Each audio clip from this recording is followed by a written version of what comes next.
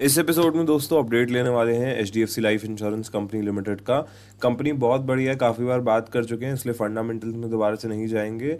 यहाँ पे क्यों इतना बड़ा ब्रेकडाउन जो है स्टॉक में देखने को मिला था? देखो, सबसे पहले तो मैंने आपको इस लेवल के बाद में भी कहा था कि स्टॉक इस रेजिस्टेंस को ब्रेक नहीं कर पाया है। एंड यहाँ पे जहाँ ब्रेक करना था, वहीं रेड कैंडल बनी है, उसे वॉल्यूम ने भी थोड़ा सपोर्ट करा है तो स्टॉक ड्रैक डाउन हुआ।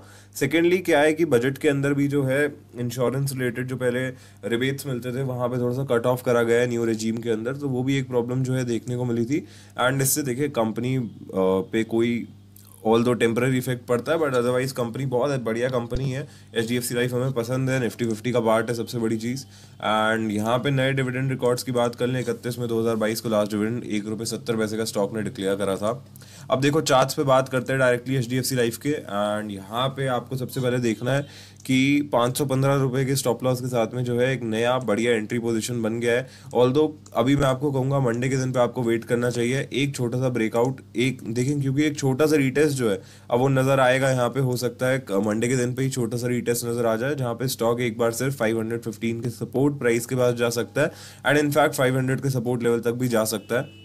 तो अगर वहाँ तक स्टॉक जाता है तो नए पोजीशंस को ऐड किया जा सकता है एंड फ्रेश एंट्री बनाई जा सकती है।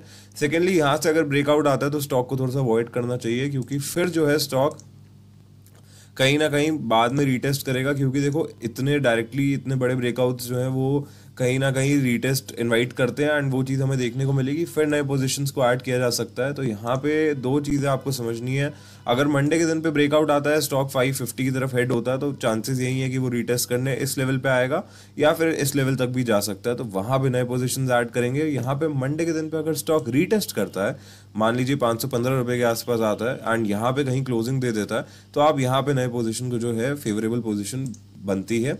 एंड वहाँ पे हम लोग भी एक छोटी सी स्विंग ट्रेड अपॉर्चुनिटी के हिसाब से बाय करेंगे।